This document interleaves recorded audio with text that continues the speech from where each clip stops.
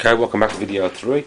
Uh, serial cables came um, for me PIC kit that I've just assembled. Um, I had to cut the bottom part of it because um, it wouldn't slide in all the way. So um, I cut the bit of plastic off the bottom and now it slides in all the way into the socket so that's that.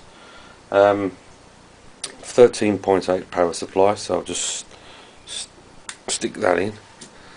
Um, the green lights come on so my soldering uh, must have worked okay.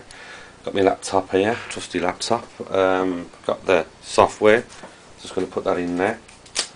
Um, just open the DVD drive. It's an old laptop because obviously the newer ones wouldn't have a serial port on. So it's always handy to keep old stuff around. Um, so I'll go onto my uh, C drive the laptop there. That's just that's the installation screen. Let's create a folder. Call it call it um, MPLAB. So we call it MPLAB. And then we'll uh, browse the CD. CDs, come, I don't know if you can see that with this. Move, move it in a bit closer. Um, there's the kit that we're interested in. It comes up with lots of different kits.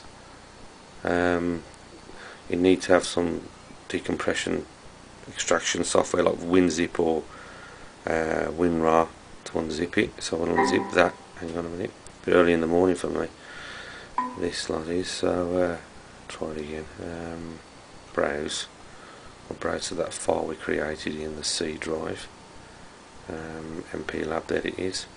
We'll just okay that and then unzip it. It's doing it. Okay. Um, clear that out.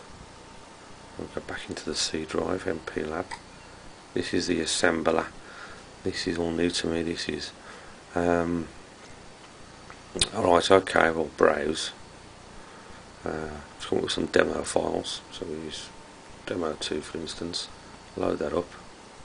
Oh yeah, okay. I've connected everything up now, so I'm moving back with this. And uh, we'll put the board into um, programming mode. Oh yes, that's all working and now we'll assemble that demo okay assembled correctly. We'll okay that. Uh, hopefully that's gone back into the examples. Yeah. It's come up now as a file uh, notepad file. That's the raw information that goes into the chip. Um, what we're interested in is is actually that. So we've got to go into back into the um, where the other application is that programs a chip. So if we open that file we just created by the assembler. Um, there it is there demo 2 and then we'll open that up. Uh, everything seems okay.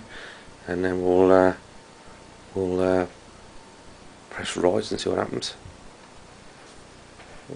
Okay, it's uh, it's writing. The red light's on. Okay, it's saying it's okay. So that's that done. So now we'll uh, just flick that into the middle. There you go, and now the program should run. And it does. Ah, so there you go. I had to program a bloody uh, a PIC chip. Um, anybody got any information to get me started on this? This is all new to me. Um, I want to learn how to uh, make some MIDI controllers, um, pedals, etc., and which was the best way about to go about it. Anybody can put any codes up, any um, so I can just download it to the chip um, with information of what it does and that, that'd be handy. So uh, thanks very much for looking at this as I'm a novice and uh, complete novice about all this, so uh, be handy for people's comments and see what they think. And I hope uh, you enjoyed watching it. Thanks very much indeed, and don't forget to uh, leave a few comments. Bye bye.